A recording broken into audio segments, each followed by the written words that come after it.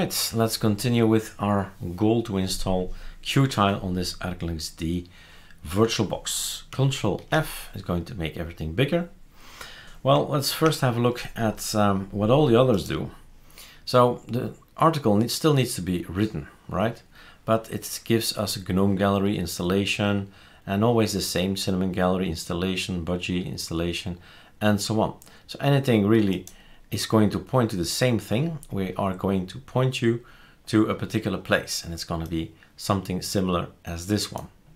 Not exactly the same since this is BSP WM, but it always points to a URL. So I know the URL by heart. So should you, it's not that difficult. We need to clone something, to copy paste something, and it's command git and to clone something. Git clone me from https github.com. Then this is the ISO of Arco Linux but it's not the big one. It's a smaller one, the D version.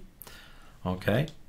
And we are choosing to install Qtile. So Arco Qtile, Arco XFCE, Arco Awesome, Arco BSP WM, Arco Mate.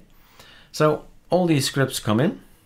ls, this is a folder that we get, cd, Arco Qtile, ls, and this is all you need to do. Run each number. And afterwards, when you have this desktop, then you can look inside and say, okay, so this one is going to make sure that all the cores are used. Fine. And you start analyzing and reading these um, scripts. And at some point you say, I don't want to install this application. Well, don't install see what happens. And that's the only way we learn is just by trial and error.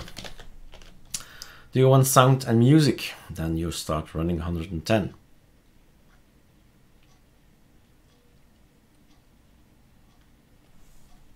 And it will stay like this, it stay black like this until you reboot.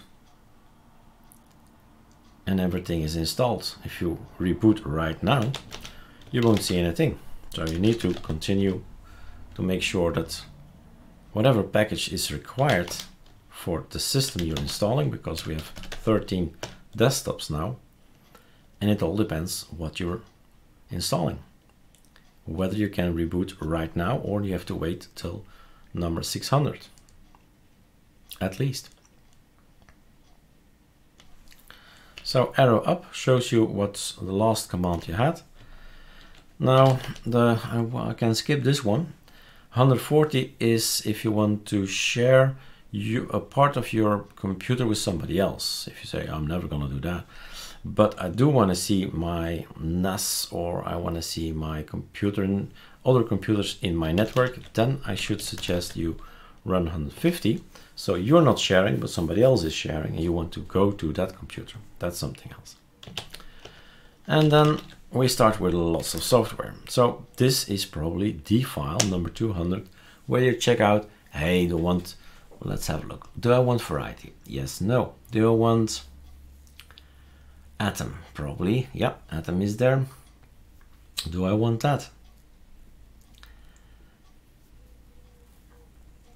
Here is. Atom is a great uh, in an editor. Geany was just floating by. GIMP is now installed. So if you're never gonna do a kind of Photoshop and Inkscape is kind of InDesign, if you're never to do that, well, don't install it. Nomacs is to have some images and to manipulate images. I use it all the time for my website. Chromium, don't use Chromium. Don't install Chromium. It's uh, 170 megabytes. Firefox is installed, 180 megabytes. And so it grows. And this is what you do. You wait till everything is downloaded, till everything is installed, and upon next installation you make your own script you use reuse our scripts put your script somewhere else why not on github so you can do the same trick as us and type git clone and then your url your place where your code is but reuse our code because a lot of time and work went into it and we keep it up to date so it's always working you can always compare with what we have uh, changed improved, updated. I think that was Thunar. It's quickly, very quick to read. Some TTF, so fonts. Whoa, too fast. Zenity, okay. Zip stuff, and there we are. So that was 200. What's behind that? 300. When it says AUR, it means Arch User Repository. It means it's actually not Arch Linux anymore. It's a gathering of scripts and the, these package builds, these scripts are getting the files from anywhere on the net, not particularly from Arch Linux, but from GitHub, from Ubuntu, from Red Hat, from Zips, anything really. And he's gonna do his, his thing with it so that we, the users, can uh, use AUR, well, use that particular package on our Arch Linux system.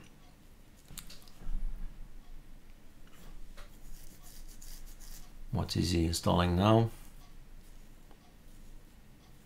Parted, PyParted, Mintstick is installed, temps is downloading. This is a zip file. Sometimes you see it when you when they go down you see deb. deb is Debian, RPM, Red Hat Package Manager. So sometimes you see where it's actually coming from, the source. In this case it's just a zip. Can be anything. Just compressed, that's all you know. Vivaldi, take a look, RPM, Red Hat Package Manager, if I'm not mistaken.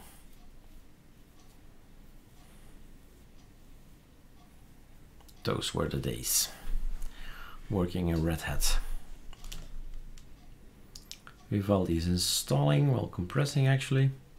So this is why we ran 000. At this point in time he uses all the cores and you have eight cores, it's going to be quicker than just one core. The codecs to watch Netflix and YouTube for Vivaldi have been installed. Vala I see there. The G radio, some music. So these are things you can omit if you, if you say, oh, whatever, don't need it. Well, just delete the line.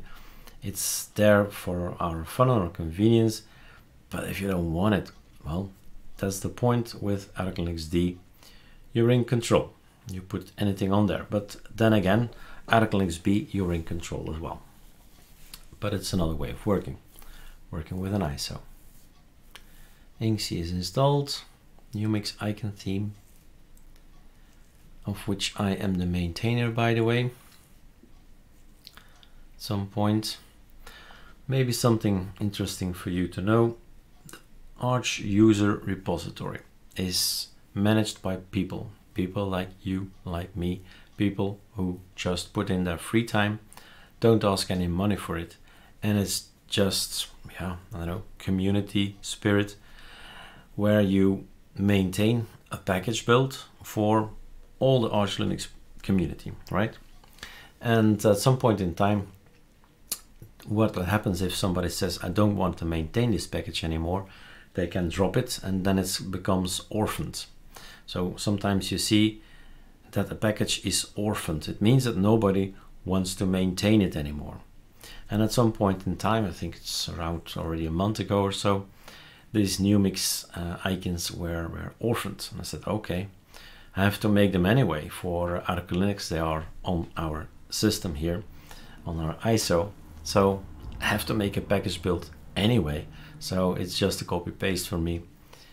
And um, then it's maintained for the complete Arch Linux community. Um, what was I going to say about that? Oh yeah.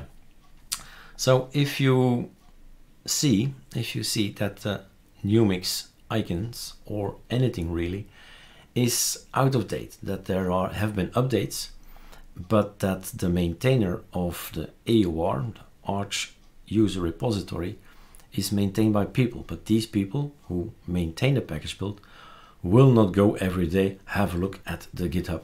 Is there an update? Is there an update? No. So you need to help all the people on AUR. If there is a package update available, then you can flag it out of date. That's on the website aur.archlinux.org, I'm guessing. Just Google it. So on the AUR websites, make an account, and if you see, okay, that package is out of date, it has already been updated on um, on the GitHub, for instance, for example, then you can flag it out of date. That was what I wanted to say. So help us, help me, help the maintainers in general, and flag it out of date.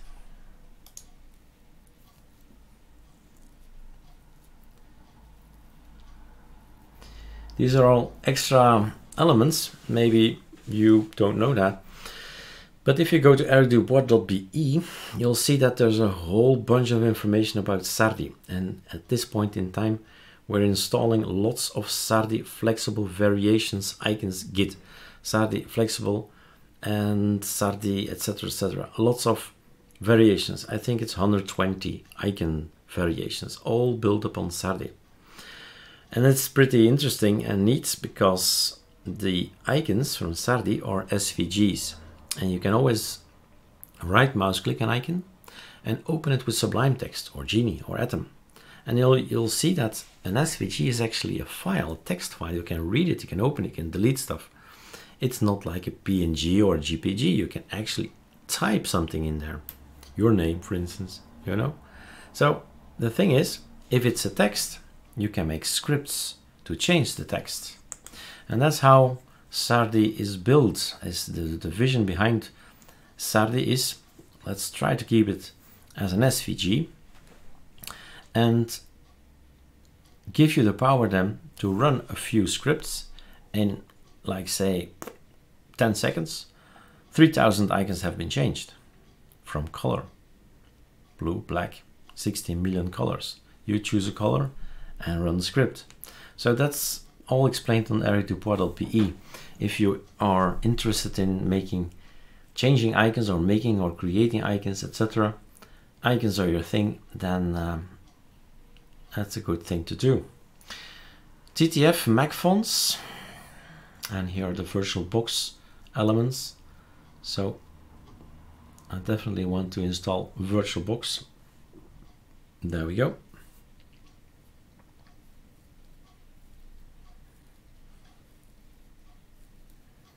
already 4.4 still remember the day that we had 6.0.1 or something like that? The hardcode fixer. So this application is going to fix icons that are still using a hard-coded path and there are one two three already there. So these developers are actually not using the proper way to point to an icon and they're hard coding it like user share pixmaps icon number one. And it will never change. Whatever icon theme you use it's always going to be user share pixmap number one. And that's bad. But there is a fix.